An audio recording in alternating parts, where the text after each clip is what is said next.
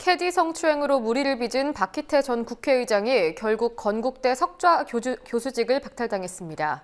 박 전 의장 재임용 소식을 들은 학생들이 학교 측에 적극적으로 대응했기 때문인데요.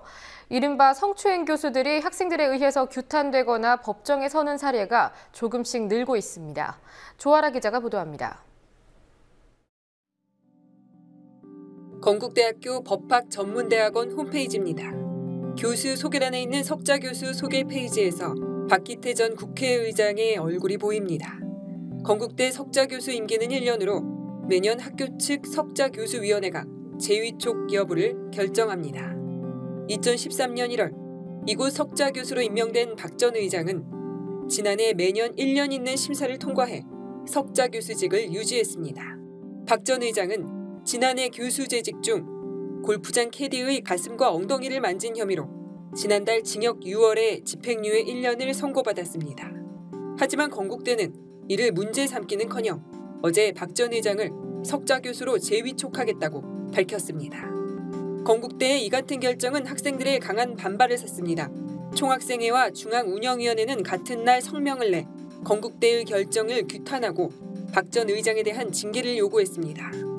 학생들의 규탄 성명으로 박 전 의장의 석좌 교수 재위촉 사실이 알려졌고 결국 오늘 건국대는 박 전 의장 재임용 결정을 철회했습니다. 박 전 의장의 얼굴이 법학전문대학원 홈페이지 교수 명단에서 사라지게 된 겁니다. 하지만 이번 결정도 건국대의 결단이라기보다는 박 전 의장 쪽에서 재위촉을 사양해 이루어졌다는 점에서 아쉬움이 남습니다. 최근 음지에 가려져 있던 교수들의 성추행 사건들이 이처럼 학교나 학생들이 적극적인 대처로 학내 징계나 사법 절차를 밟게 되는 경우가 있었습니다.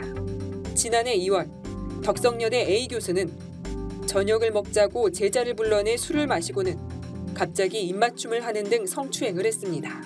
덕성여대 총장 직무대리는 A 교수를 직위 해제 조치한 후 수사기관에 고발했습니다.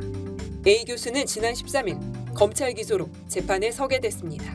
서울대학교 수리과학부 B 교수는 지난해 7월 인턴 여학생의 신체를 만지는 등 제자 9명을 11차례에 걸쳐 성추행한 혐의로 오는 18일 3차 공판을 앞두고 있습니다. 앞서 서울대는 검찰 수사를 받고 있는 강모 교수의 사표를 수리해 제 식구 봐주기라는 비판을 받았습니다.